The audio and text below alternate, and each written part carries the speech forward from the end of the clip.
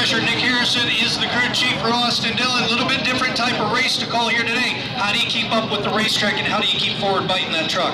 Well, I think we just got to go off Austin's lead. He's a winner here from last year, and he, uh, on his off weeks and during the weeks, he runs a bunch of dirt late model races with the team. Eldora! 30 trucks on the speedway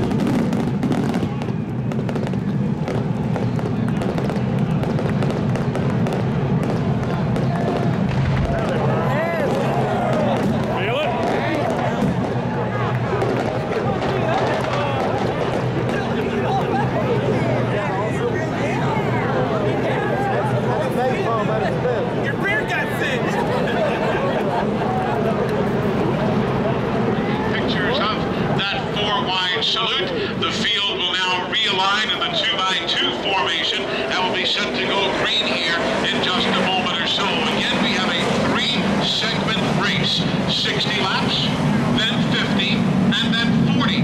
If you want to pit, you can. There's no mandatory pit stop. If you want to pit, you can. If you don't, you don't. It's your call but it's 150 laps, and they have not been able to refill the trucks. The trucks have the same fuel levels that they started with with qualifying, the heat races, and so on. So likelihood is everybody's going to have to make a pit stop, but they're all going to start with the fuel that remains in the tank. This reminder that tonight's broadcast of the 1-800 Car Cash Mudsummer Classic is brought to you under exclusive radio rights granted by NASCAR to Motor Racing Network solely for the private non-commercial use of our listening audience. Any publication, reproduction, or other use of the description and accounts of this event without the express written consent of the Motor Racing Network and NASCAR is prohibited.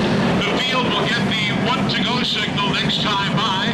Again, as Kyle told you, the turns are banked 24 degrees, the straights are 8 degrees, the front straightaway 1,075 feet, the back stretch 869 feet at the legendary Eldora Speedway, built by Earl Baltes in 1954, a track that has played host to some of the best racers in the world. But you talk about the difference in the competition. When the World of Outlaws run here, the great Craig Dollansky toured the Speedway in 12 and a half seconds.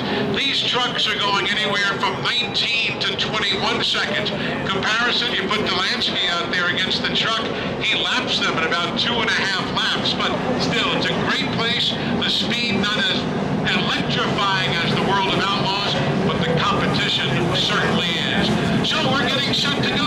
Glad you're tuned in. Better than $366,000 on the line tonight. And for the start of the 1-800 Car Cash Mudsummer Classic, Kurt Becker. Pole sitter Erik Jones lines up in the outside lane. The green flag is in the air, and he and Jeb Burton go to turn one. And they are side by side with Erik Jump in the outside lane,